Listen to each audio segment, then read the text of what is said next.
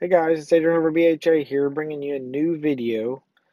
Uh, now, of course, I mentioned this in my uh, my August status update video, but this is going to be a video on how to control your PS4 or PlayStation 4 with Home Assistant. So this is a pretty cool uh, little feature. Um, it basically will set up uh, PlayStation 4 as a media player and Home Assistant. And, and, as you can see here, as I'm scrolling down this page, uh, the different uh, available commands that you can do, uh, you know, basically you can mimic a controller uh, almost in Home Assistant. So that's a pretty cool little feature. We're definitely going to play around with this.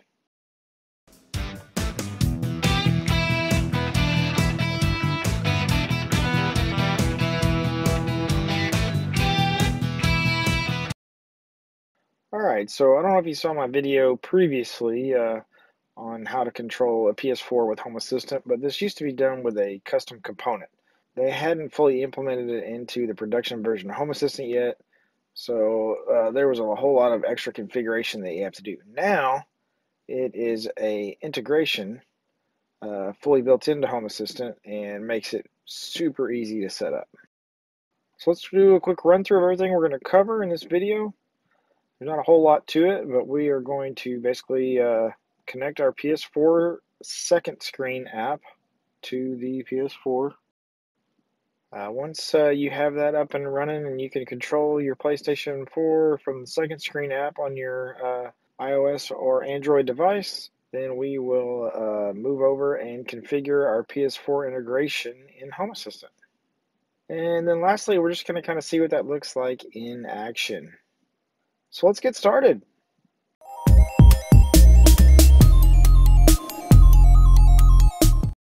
All right, so of course for starters we need to, um, we're to look for the second screen app in the uh, App Store here on my iPad.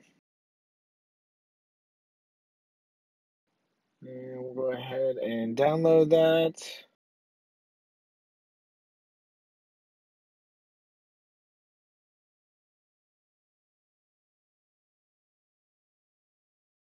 All right, of course, we have to sign in with our PlayStation account that we use with our PlayStation 4. It has to be the same account.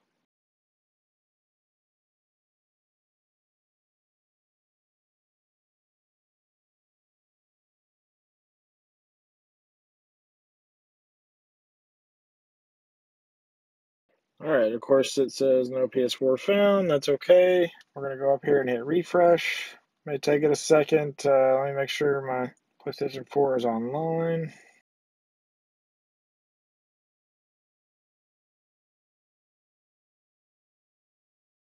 All right, there's the PS4 popped up.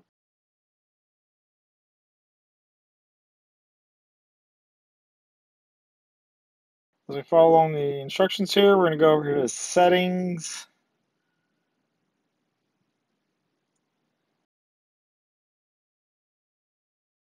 And I think we are looking for mobile app connection settings.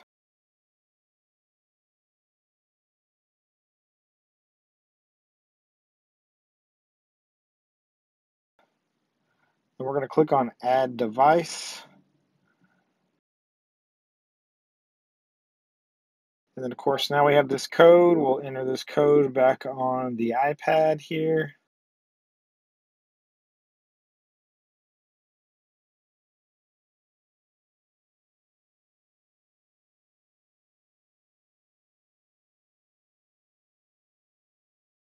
And of course, now you can see the device is added. There's iPad in the list as well.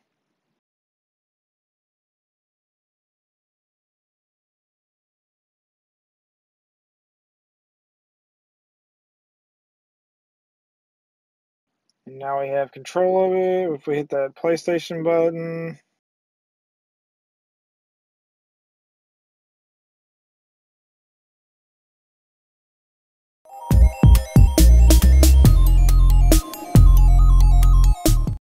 Alright, so now we're ready to uh, configure PS4 integration in Home Assistant. So of course we're going to go down here in the integrations, we'll hit the plus.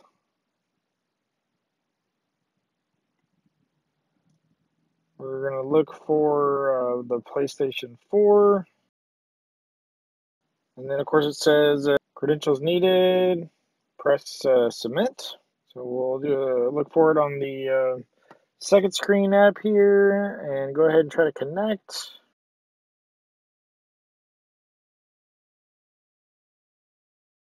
And then it comes up and asks us uh, for the uh, IP address and information. Um, I'm going to change it from auto discover to manual. Uh, I had issues getting it to work properly with the PlayStation 4 on auto discover. Yours may be different. I don't know. So we'll do manual entry. I'm going to put in the IP address of my PlayStation 4. Um, mine is a static IP, so it should never change. And then again, we have to enter in our PlayStation 4 information. And just as we set up the second screen app uh, for the PlayStation 4 earlier, we are basically supposed to follow those directions again and add in another device uh, specifically for um, Home Assistant. And then we'll put in this code here.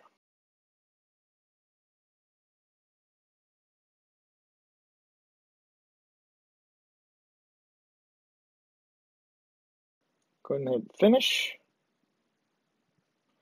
And now it is basically added into uh, Home Assistant. So let's move on to that last step and see it in action.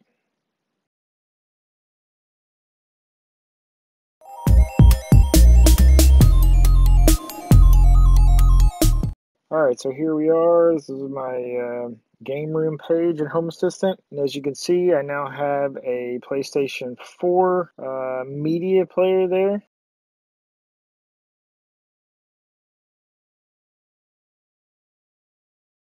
And if I was to, you know, turn hit the power button, I can uh, turn it off.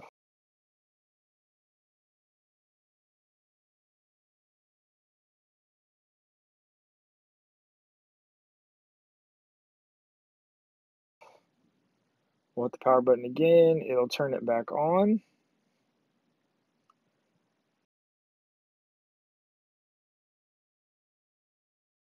Everything looks good there. And as I was showing you at the beginning, you can do all these commands listed here on uh, Home Assistant's uh, wiki page for uh, for the PlayStation 4 component. So we're going to test some of this out here. I'm just going to pull up my uh, developer tools and go into the um, services tab. We're going to do a, a PS4 send command.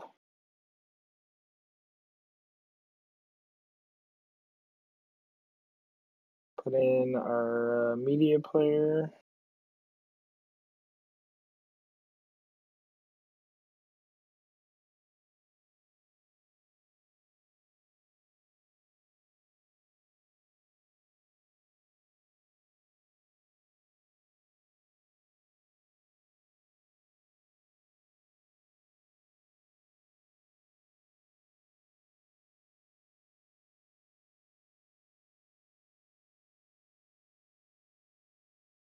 Change that to right. And let's test this out here.